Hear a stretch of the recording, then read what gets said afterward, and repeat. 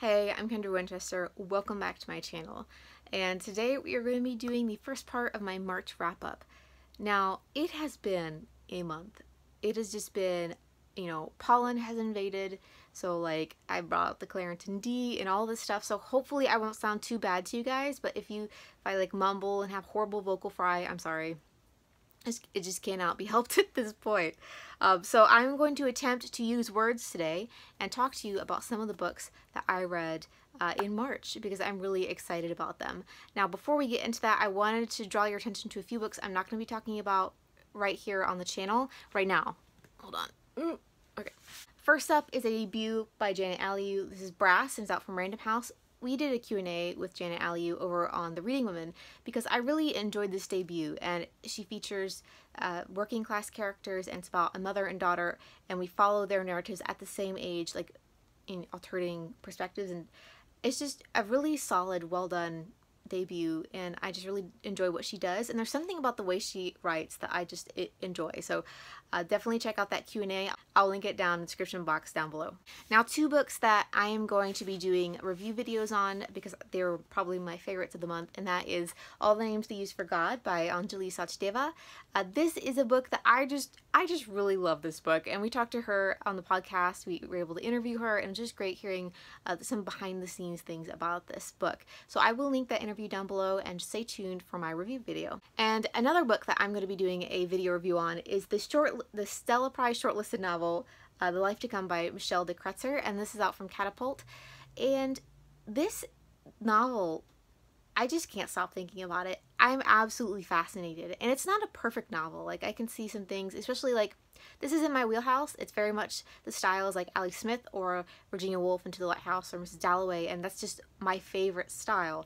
So I will say I am biased in that sense. But I just really enjoyed this novel, and I loved getting a look at Australian politics and just that in an Australian setting. And yeah, I really enjoyed it. So I'm going to be talking about that more in a separate video. Uh, but yeah, so stay tuned. So let's get into the books that I did read and want to talk about a little bit. Um, first up is one that I've already mentioned, so I'll just you know spare you the the longer version. But this is Circe by Madeline Miller.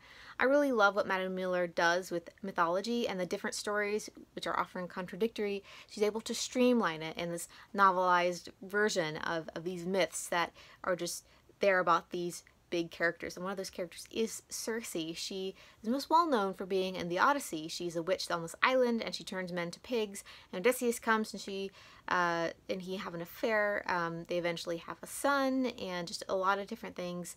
Um, that are in other myths around her. Now, she is related to a lot of famous people.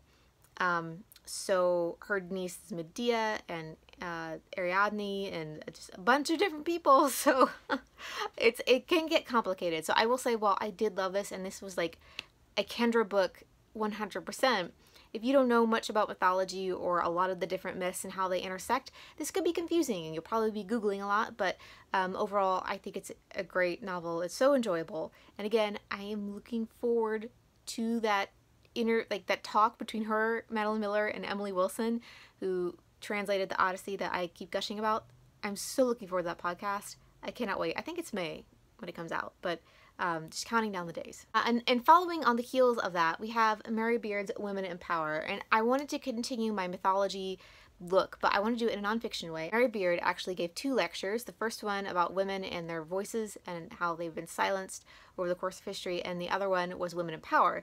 And in both of those lectures, she has uh, these examples from antiquity and how basically from mythology forward, you know, like, you know, from the tales of mythology forward, how women have been silenced or how, you know, their view in power, like women aren't supposed to be in power or their ways of leadership just aren't well masculine enough quite frankly. And i really loved what she did. And i've seen some people say they wanted more from the book but i felt like these are just printed lectures. Like they're not actually structured and formatted books. So i would really like to see her write a longer book on it. But for just the lectures and taking them as they are as a brief like boiled down nutshell of this idea i really enjoy them and definitely would recommend this book. Uh, then another book that i read and really enjoyed is the color of law by richard rothstein a forgotten history of how our government segregated america. And this is out from Liveright publishing. I think it came out last year year before not sure. Uh, but this is the second book in Samuel and I's Spouse Book Club. We ended up taking two months for Stamp from the beginning because it was like 500 and 600 pages long. And then Samuel's still reading this one. Um, I really enjoyed this book. We, re we read, we both read Evicted last year um, by Matthew Desmond. And this one I feel like is a great pair with that one because it also talks about um, housing and the housing crisis, but it looks at it from a more historical perspective rather than a current like follow people around narrative perspective. So I'm gonna see if I can have words to describe what this book does. Uh, but what he does is he looks at history and how America has systematically segregated uh, their housing and how that has affected African Americans specifically throughout history and how it was such so intentional and how all of this has been swept under the rug. It's not even history books and how people were allowed to deny people housing even if they could pay for it and how like for example uh, an African American family might move into the neighborhood because they had enough money to move in and then you know there would be like the white flight and you know they would leave and then the housing would lower in value. Just all the different things that happen throughout history. And Rothstein takes a more academic perspective and then he uses people as examples, but his approach is definitely more from studies and history and different things and I really, really enjoyed this book. Um, I listened to the audiobook on RB Digital and I thought it was really well done as well. Um, there are a lot of notes in the back and extra resources if you're looking into this, um, but I feel like I'm just going to stop talking about it now because the book will explain itself way more than I ever could. So those are all the books that I'm going to talk about in the first part of this wrap up. If you have read any of these, definitely let me know if you have thoughts on them or any other recommendations of read-alikes or different things. I look forward to hearing your thoughts. But until next time, I guess I'll see you in the next one. Bye guys.